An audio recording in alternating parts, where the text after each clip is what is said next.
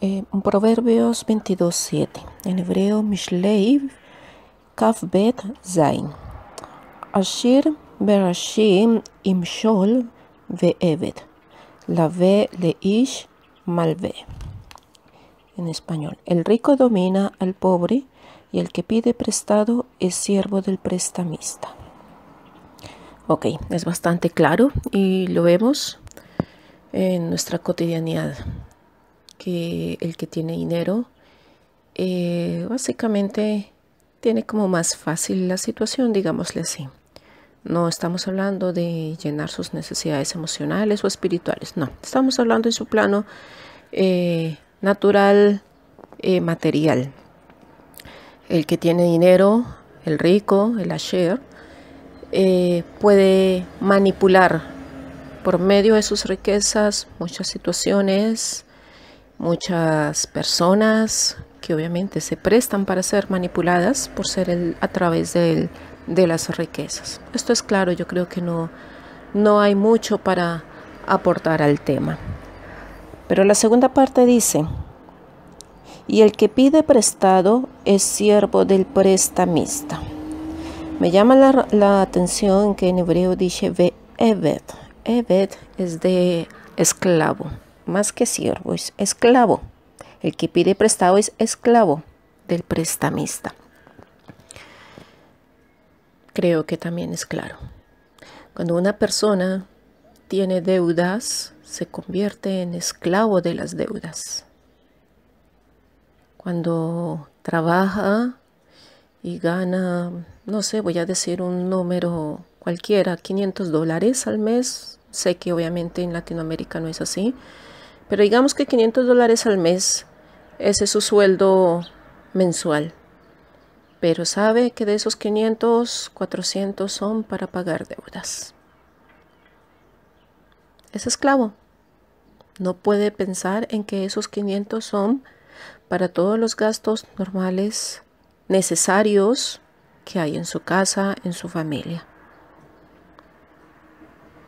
Cuando se le pide prestado dinero a alguien, cuando se le pide prestado al banco, que son los más grandes pues usureros, se convierte en esclavo de ellos. Ahora, ¿cuál es la clave para no llegar a este punto de esclavitud? La clave es ser sabios. Sabios a la hora de gastar o de manejar el dinero. ¿Y cuál es la clave? La clave es no gastar, no usar más dinero del que tienes en tu mano.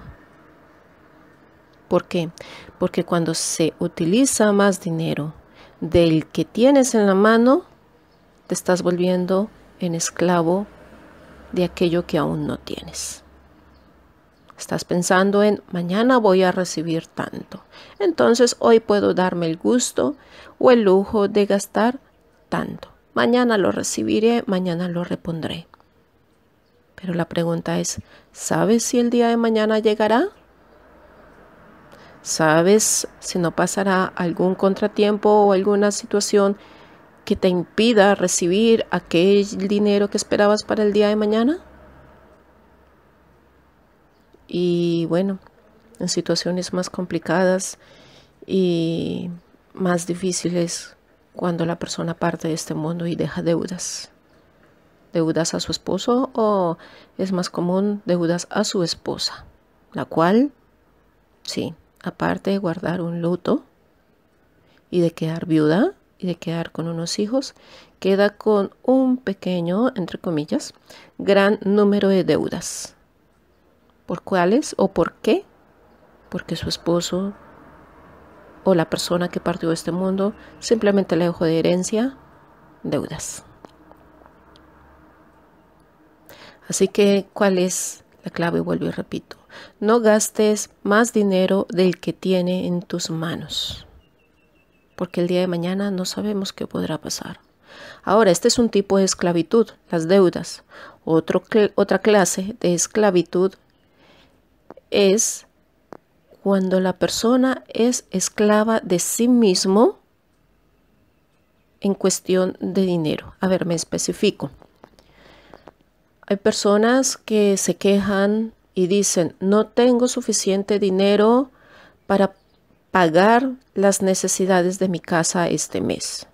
Es decir, no tengo para pagar la luz, el agua, eh, el teléfono, etc.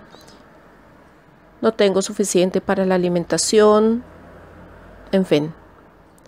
Pero la pregunta es, ¿estás distribuyendo correctamente el dinero que tienes? ¿Lo estás haciendo? A ver, voy más allá. Hay personas que necesitan, necesitan aparentar que tienen dinero aunque no lo tengan. ¿Y cómo lo hacen?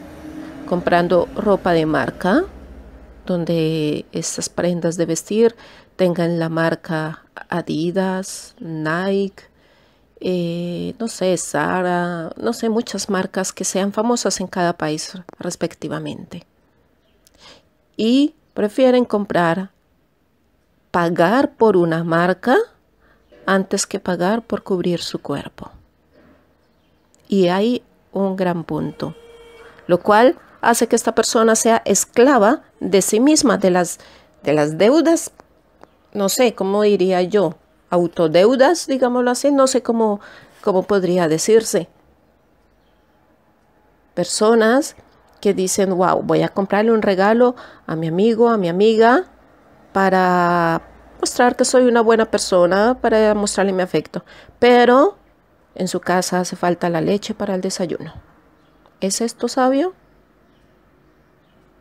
O cuando se piensa en voy a hacer un viaje a X o Y lugar. Pero después está pensando en, ay, ¿y cómo voy a hacer para comer este mes? A este tipo de sabiduría es el que necesitamos tener en mente, en nuestro corazón. No ser esclavos del dinero, no ser esclavos de las riquezas, no ser esclavo de las deudas.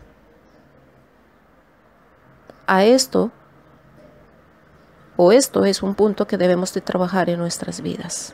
No nos esclavicemos. Para eso alguien nos ha liberado de la esclavitud pero no la, la esclavitud de las deudas. Yeshua nos liberó de la esclavitud del pecado. Él no va a llevar tus deudas materiales, económicas. No, porque es que ese es un plano que te corresponde a ti. El Eterno nos bendice, el Eterno provee nuestra mensualidad, es cierto. Pero en nuestras manos está la decisión, la sabiduría de manejar correctamente ese dinero, esa provisión. No podemos echarle en ese sentido la culpa al Eterno diciendo, wow, estoy endeudado. No, el Eterno no te metió en deudas. Fuiste tú mismo con tus decisiones a la hora de distribuir, de gastar, de utilizar el dinero. Así que ojo, Guardémonos, cuidémonos, vuelvo y repito, de caer en esclavitud de las deudas y en caer en la esclavitud del dinero. que es el dinero? El que controla a la persona, no la persona controlando el dinero. Y hay una gran, pero gran diferencia. Controlemos nuestros gastos para que después no tengamos que volvernos o pegarnos al techo porque no sabemos cómo manejar la situación económicamente. Abacados, gracias porque tú siempre nos das una palabra para el día a día de nuestro vivir. Muchas veces no sabemos cómo manejar situaciones económicas, pero tú nos das consejos, nos das una directriz a través de tu palabra. Solamente es aprender a discernirla y ponerla en nuestra vida actual. Ayúdanos, Abacadosh, para que no seamos esclavos de las deudas, para que no tengamos que pedir dinero y esclavizarnos del que nos lo presta. Ayúdanos para que para que podamos utilizar sabiamente la provisión que tú nos das. Danos esa sabiduría, Abba, para que los gastos de hoy no los tengamos que lamentar el día de mañana. Y asimismo, Padre, danos la sabiduría para no volvernos esclavos del consumismo que hoy en día se vive en nuestras vidas, en nuestro alrededor, en nuestro entorno. Muchas veces queremos algo, hablando materialmente, pero no necesariamente lo que se anhela es una necesidad. Es cierto, a veces queremos, anhelamos algo por gusto, porque lo deseamos, porque lo queremos, mas no porque esto sea una necesidad. Danos el discernimiento a Bakadosh para que sepamos discernir, saber qué es una necesidad y qué es un simple deseo, un simple gusto. Gracias, Abacadosh. Beshem Yeshua Mashiach. Amén.